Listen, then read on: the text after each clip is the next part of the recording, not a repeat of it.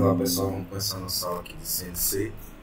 O objetivo dessas aulas é para que vocês possam acompanhar as atividades presenciais na nossa disciplina nesse semestre. E aqui a gente vai usar um simulador, CNC Simulator.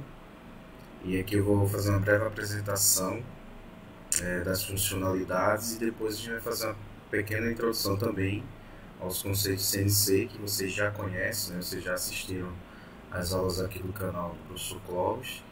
Então a gente vai complementar com a parte prática aqui dentro da disciplina, tá bom? Então vamos lá, vamos apresentar aqui rapidamente aqui o, a ferramenta. Inicialmente eu, eu tenho aqui uma barra de ferramentas na minha esquerda aqui, tá? Basicamente esse Czinho aqui são os créditos né, do desenvolvedor, contato, Gmail e, e o site. Depois eu vou estar mostrando na próxima aula como a gente vai fazer a instalação da ferramenta. Aqui você muda de inglês para russo. Uh, provavelmente a gente vai usar o inglês aqui.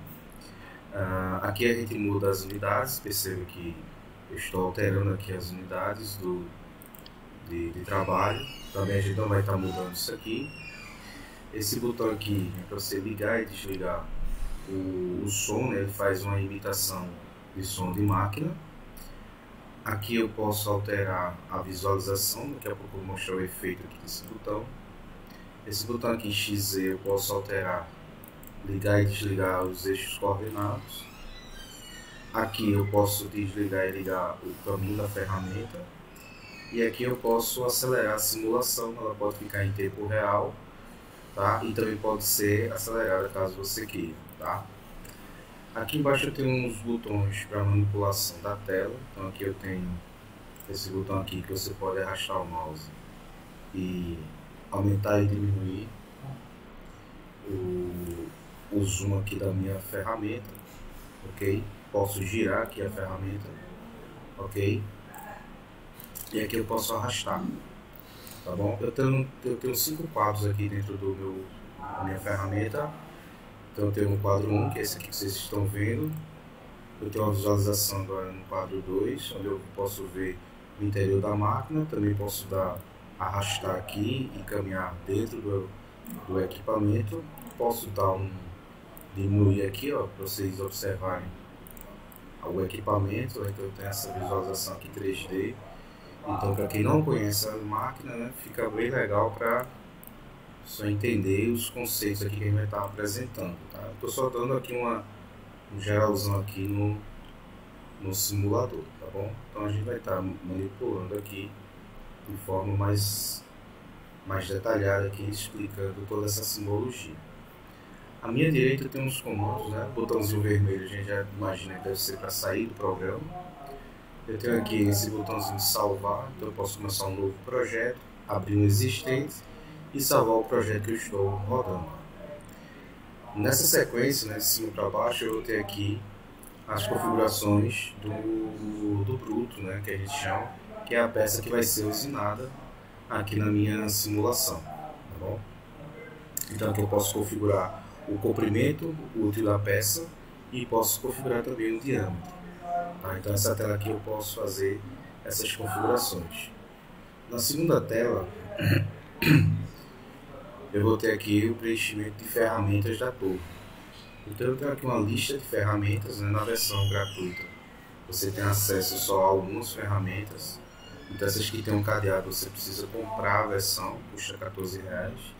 E aí você tem acesso livre. Então como é que eu faço para colocar uma ferramenta aqui na minha torre, né? Então eu simplesmente clico aqui, ó, arrasto para uma posição vazia e eu já tenho aqui minha ferramenta na torre. Tá? Aqui eu tenho as configurações de distanciamento do, do meu, meu suporte ferramenta, ok? E aqui as características geométricas da, do meu ensejo, tá? Aqui eu posso caminhar por entre as ferramentas que eu vou usar na minha simulação. Depois que eu configuro essas duas etapas, eu tenho aqui agora a minha, minha tela de programação. Tá? Então veja que eu tenho aqui a macro, eu posso alterar aqui para visualização. Eu gosto muito de usar essa visualização aqui 3 para ver os meus programas. Observe que eu tenho as coordenadas X, Z, né, mostrando o posicionamento aqui da minha ferramenta.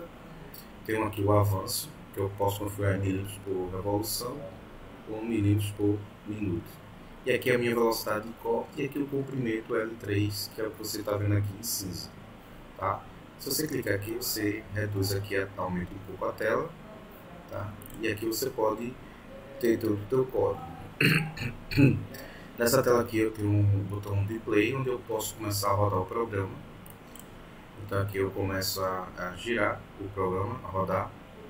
Você aqui está no modo rápido, tá? Então eu posso alterar aqui com esse botão aqui, depois eu vou mudar. E a linha verde vai indicando onde que ele está lendo o meu programa, tá?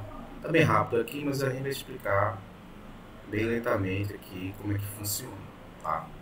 Nessa mesma tela aqui eu posso ter vários outros programas e posso fazer alterações e pequenos testes que a gente vai estar vendo ao longo do curso, tá? Por exemplo, vou desabilitar aqui esse botão e vou habilitar aqui o som né, e vou fazer aqui a rodar o programa. Esse aqui faz barulho com a máquina, ele tenta ela está no modo mais lento. Esse aqui está com uma peça é, já usinada, eu posso parar aqui a programação a hora que eu quiser e posso, por exemplo, atualizar o meu Bluetooth. Então eu volto aqui, tá? vou começar novamente e aqui ele começa a, a usinagem. Eu posso desligar essa tela aqui, não ver o programa, e aqui em cima eu vou ver uma linha linha que ele está programando, né, que ele está rodando no programa. Então aqui eu tenho uma visualização da ferramenta e da minha peça que está sendo ensinada. Né? Então as linhas verdes é o avanço programado, eu vou estar explicando para vocês o que é isso. O roxinho é o, o avanço rápido, que a gente chama. E aí vou estar explicando todos esses códigos G, né, explicando, para dar uma relembrada, né? A gente já estudou isso no outro curso. E aqui você observa que ele vai dando a coordenada Z, então movimentação da ponta da ferramenta, o X, e o avanço programado que eu coloquei de 0.3 minutos por revolução. Velocidade de corte de 150 metros por minuto.